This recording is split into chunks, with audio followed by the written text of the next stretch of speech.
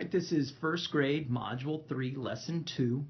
And in this lesson, students are going to be comparing um, lengths of different objects indirectly by using kind of a like a middleman, a piece of string.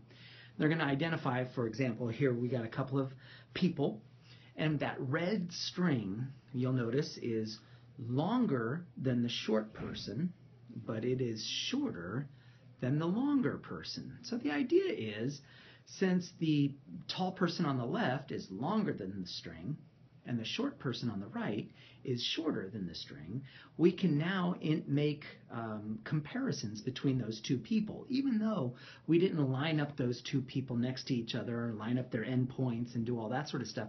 We're using that string as our uh, indirect measurement tool. And uh, so that's what this whole lesson is all about. So let's get started. This lesson is a little bit funky in that it requires a whole bunch of materials, and that, that's to be expected when uh, we're doing a module on measurement. You need reality stuff. You don't need a lot of paper and pencil work with our students. We want them touching things and measuring things. With uh, right now, we're using unofficial things like string and eventually paper clips. Uh, ultimately, students are going to be doing the standard measurement tools with rulers, either inches or centimeters. But one of the things that this lesson asks for is uh, nine centimeter strips of paper, nine centimeter long strips of paper. Now, there's nothing magic about nine centimeters, and I don't want teachers saying, oh my gosh, I have to measure 35 little strips of nine centimeter long pieces of paper. No, no, no. No. Here's something you can do, because there's nothing magic about the fact that it's 9 centimeters. What you could do, take a blank piece of binder paper here, fold it in half, and now you know what you got? This right here, that is about 10, 10 and a half centimeters long.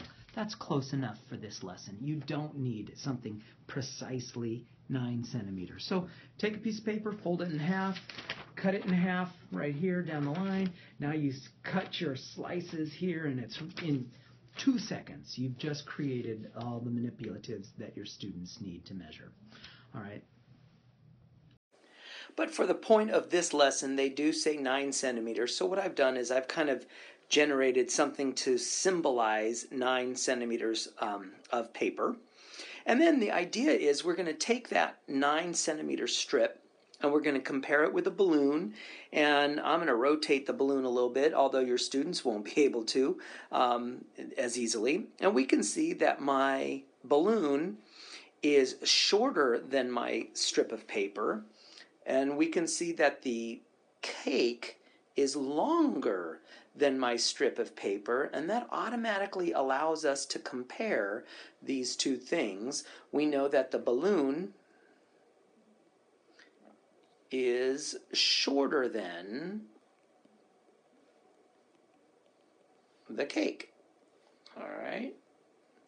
Um, and so that's the idea. Um, again, oops, well, uh, parents and teachers, a lot of vocabulary. So please be referring to your vocabulary wall for your second uh, language learners um, uh, have your sentence strips available, all that sort of stuff, because this is language intensive. So please um, take the time now uh, to be using that vocabulary and reinforce that vocabulary. Um, there is no need to rush through the vocabulary because while it might feel like you're making progress, if you don't put that great foundation in the vocabulary here, uh, it's going to fall apart down the road. So don't shortchange your vocabulary. And again, you've got your paper strips, and you can use your paper strips to compare uh, the shoe and the ball. And we should be able to see so the shoe is, and we can write longer than the ball. Now, uh, the ball is shorter. So the idea is the, the word shorter, we don't know because of the vagaries of English. Does shorter mean this way? Or does shorter mean this way? Because it means both. So, parents and teachers, if your students get hung up on this word and they're not sure which one, That's okay. If they've decided this is what they mean by shorter, then just make sure that your students are measuring the same um, dimension of the shoe.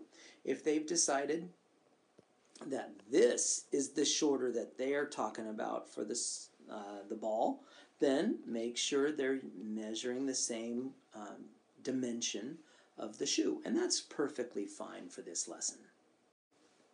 And lastly, this is a great opportunity for your students to differentiate Uh, amongst themselves and find their love of mathematics because now they get to draw pictures and so some students are going to get better and prettier pictures than others and that's perfectly fine too.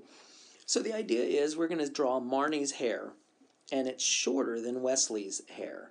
So i'm going to put m and w because my drawings are horrible. So here's marnie and her hair is right here. And then Wesley, so Marnie's hair is shorter than Wesley's hair. Okay, so that means Wesley's hair is very long. Back in the day when I was a musician, I had super long hair. So I can I understand Wesley. All right, so there we go. We have Marnie and we have Wesley. So I've just taken care of that first sentence. And the second sentence says Marnie's hair is longer than Bitta's hair. Oh, beautiful name. Bitta. So Bitta is right here, and Bitta has short hair. All right, there's her hair. Now, what's the question? The question is Bitta's hair, how does it compare with Wesley's hair?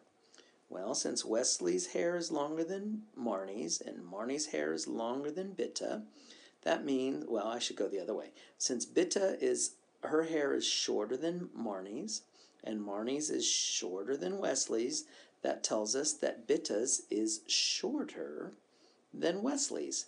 And again, parents and teachers, especially for your students who are learning English as a second language or third language, Take the time to really focus on this vocabulary and give your students an opportunity to grapple, especially using the word wall.